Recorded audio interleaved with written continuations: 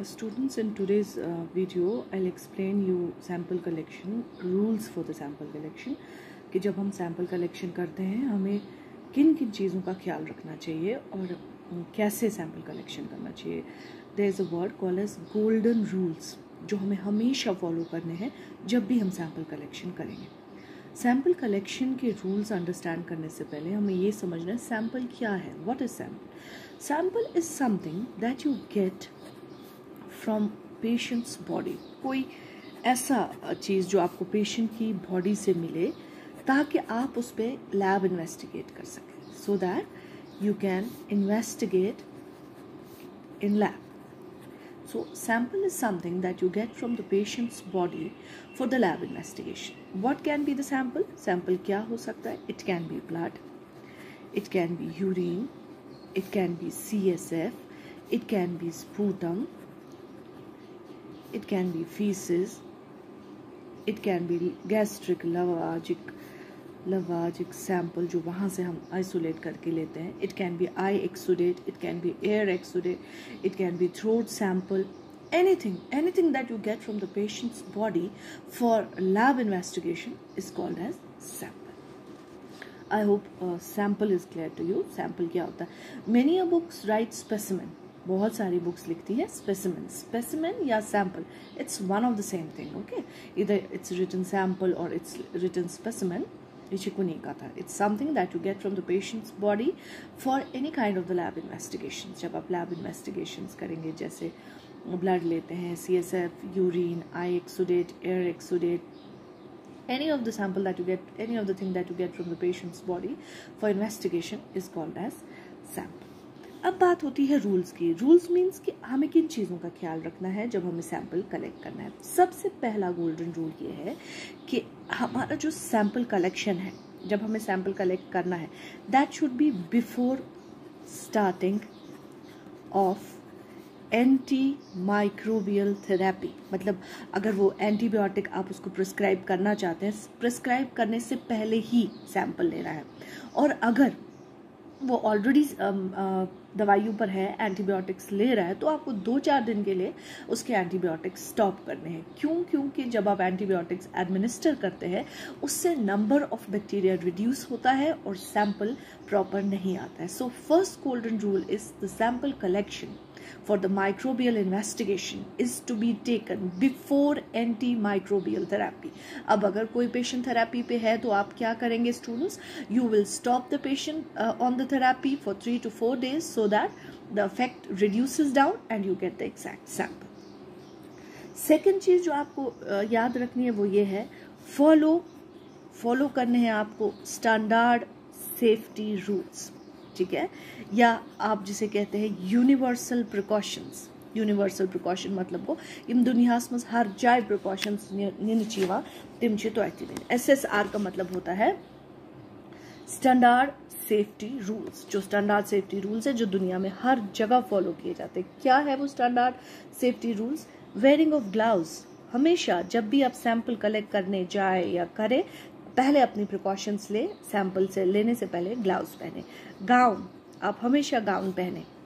Sample का, जैसे आप आजकल देख रहे होंगे कोविड पेशेंट्स के लिए जब सैंपल लेते हैं तो कितना कुछ प्रिकॉशन लेते हैं। वो क्यों होता है? ताकि मेडिकल एसेप्सिस हो to stop the infection at its source यहाँ पर भी आपको बार बार कहा जाता है यूनिवर्सल प्रिकॉशंस लीजिए स्टैंडर्ड सेफ्टी रूल्स को फॉलो कीजिए just to stop the infection at its source mask mask हमेशा पहनिए इवन गॉगल्स पहनिए, इस वक्त जो आप देख रहे हैं, क्योंकि आपको स्टैंडर्ड सेफ्टी रूल्स को फॉलो करना बहुत ज़्यादा ज़रूरी है। ओके जी।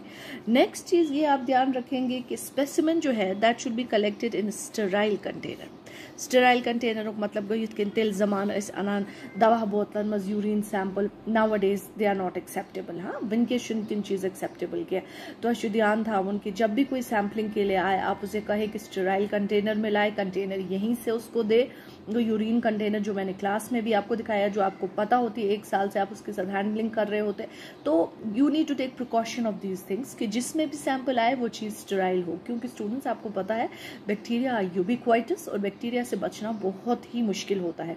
उसकी वजह से आपके सैंपल में आर्टिफैक्ट्स होते हैं।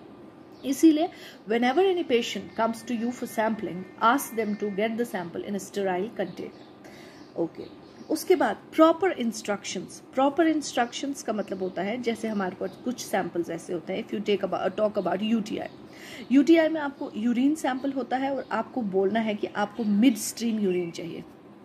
ये छून कि तेम कोर यूरिनेशन शुरू तो कोरुन कलेक्ट आपको उसको एक्सप्लेन करना है. गोड़ जो जितरा कातर दौरित okay so that urethra clear हो जाए सॉरी जो बाहर कवरिंग है यूरिथ्रा की वो क्लीन हो जाए, क्योंकि हमारे पास नॉर्मल फ्लोरा भी होता है, वो अगर सैंपल में ऐड हो जाएगा उसकी वजह से आर्ट इफेक्ट्स होंगे। That is why you prefer mid stream urine तो प्रॉपर इंस्ट्रक्शंस देना भी बहुत ज़रूरी है। आपको पेशेंट को कहना है कि तो हर्ष प्रॉपर इंस्ट्रक्शंस फॉलो करें। गॉड थोड़ा जितना कात्र दरित सुने, तेम पाच होता है। मिड स्ट्रीम यूरिन प्रेफर कर ऐसे ही आपको हर जगह पर हर जगह पर आपको ध्यान रखना है चाहे यूरिन हो आई एक्सुडेट हो पहले बाहर वाली चीज़ उठा देनी है फिर अंदर अंदर की चीज़ लेनी है। प्रॉपर जगह से प्रॉपर स्पेसिमेन कलेक्ट करना बहुत ज़्यादा इंपॉर्टेंट होता है। ओके okay, स्टूडेंट्स और नेक्स्ट इंपॉर्टेंट चीज़ ये है कि सैंपल जब तुम कलेक्ट करो ठीक है अब बहुत सारे चीज़ ऐसी होती है पहले साइट को स्टराइल करो। साइट को sterile the site site sterilization side sterilization मतलब वो जैसे आपके पास कोई वूंड एप्सिस है वूंड एप्सिस मतलब वो कर जख्म, जख्मों में पस नेरा जो एप्सिस गुम तौर सह पस बलाए वारे के चीज़ में।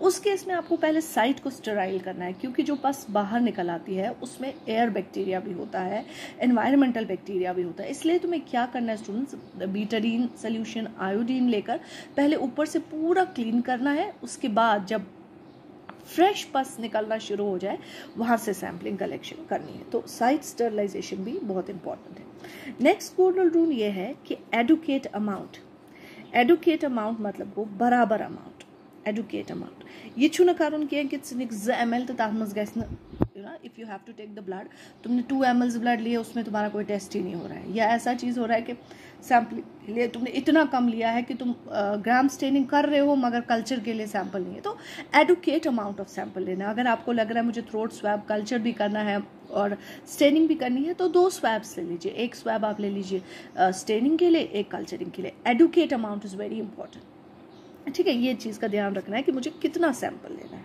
एक्सेस छुन कारून किया, यूता ज़रूरत छू उसके बाद स्टूडेंट्स क्या करेंगे आप? किन चीज़ों का और ध्यान रखेंगे? वो होती है maintenance of records labeling label करना बहुत इंपॉर्टेंट होता है। पहले तो आपको ये समझना है, हमारे पास दो किस्म के पेशेंट है आईपीडी है एंड ओपीडी है। अगर आईपीडी है तो उनकी क्या क्या इन्फॉर्मेशन है? अगर ओपीडी है तो क्या? आईपीडी के केस में आपके पास नेम ठीक है वार्ड नंबर बेड नंबर जो जिस बेड पे होता है वो बेड नंबर जैसे पहले नेम बहुत इंपॉर्टेंट है ward number bed number referred by doctor ठीक है? ये सब। और एक चीज़ होती है साइट ऑफ़ कलेक्शन कलेक्ट कहाँ से कर रहे हो? ओपीडी के केस में दो चीज़, ये सब तो है ही है। उस केस में ना बेड होगा, ना वार्ड होगा। उस केस में नेम होगा एड्रेस होता है इस केस में और टेलीफोन नंबर होता है। ये दो चीज़ें इस केस में बहुत इंपॉर्टेंट होती है, जिनका आपको ध्यान रखना है जब आप सैंपल कलेक्शन करें। और साथ ही साथ ध्यान आपको रखना है स्टूडेंट्स इस चीज़ का।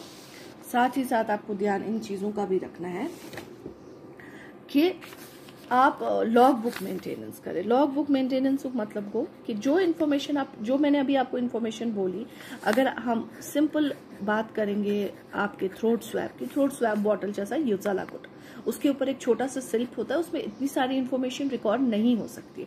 इसीलिए आपको क्या करना है लॉग बुक को मेंटेन करना है। लॉग बुक में आप क्या करेंगे, यहाँ पर सिर्फ़ एक एब्रिवेशन लिखेंगे फॉर एग्ज़ाम्पल ए वन और लॉग बुक में सारी information name ward bed site of collection वगैरह वगैरह जितनी भी, और ओपीडी के केस में आप सिर्फ़ एक्स्ट्रा लिखेंगे एड्रेस और telephone number these things are to be taken in mind okay और दूसरी इंपॉर्टेंट चीज़ जो आप करेंगे place a biohazardous sign biohazardous का मतलब होता है कि यसा जो खतरनाक, हर का एक नाथ अथ लगित के okay these things are to be taken in mind biohazardous sign आपको लगाना है, जो आपको ध्यान रखना है कि आप ये इंडिकेट करेंगे पेशेंट बाकी लोगों को कि आप इसको टच ना करें, क्योंकि अगर आप इसको टच करेंगे तो ये आपको कंटेमिनेट कर सकता है। फॉर एग्ज़ाम्पल जैसे मैंने आपको पहले बताया, अगर आपने स्पूटम कलेक्ट किया हो और ये पेशेंट पॉजिटिव हो ट्यूबर क्लोसिस के लिए, आपको पता है tuberculosis is a highly communicable disease अब मैंने अगर तो कंटेनर चुतई थी तो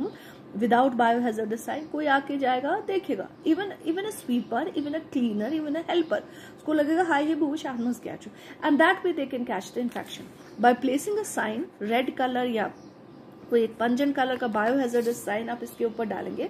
दैट विल इंडिकेट के ये छुन थप करण वो चीज़ के you don't have to touch it placing of biohazard sign is extremely very important next important thing is transportation जितना हो सके जल्दी सैंपल को लैब तक पहुँचाए और इन्वेस्टिगेशन करें। पर अगर आपको लग रहा है कि नहीं जी टाइम लगेगा।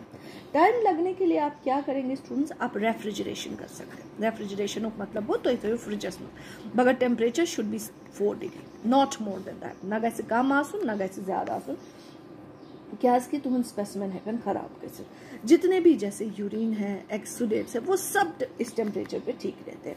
पर ब्लड और सीएसएफ जो है, उसे आप नॉर्मल टेम्परेचर पे रख दीजिए is no problem in that आप उसको रूम टेम्परेचर पे रखिए, ये मन दोन प्रॉब्लम आ सके बाकी ये तहत एक्सुडेट यूरिन जो सी एस सॉरी यूरिन जो एक्सुडेट जो कोई भी चीज़ ऐसा, जो थ्रोट स्वैब है फ्लूड्स है, एयर नेजल स्वैब्स है, वो सारी चीज़ें आप रेफ्रिजरेट कर सकते हो, मगर टेम्परेचर रेंज मेंटेन था one eight four blood and C S F can be kept at the room okay students और जिस भी स्पेसिमेन में आप स्पेसिमेन को जिस भी बैग में आप पैक करें it should be leak proof so चु गोड़े चेक करूँ कि कंटेनर तो लीक प्रूफ तो बे बैग तो leak Lee so these things are to be kept in the mind ये चीज़ जो ध्यान था these are the golden rules of sample collection जो आपको लैब्स में हेल्प करें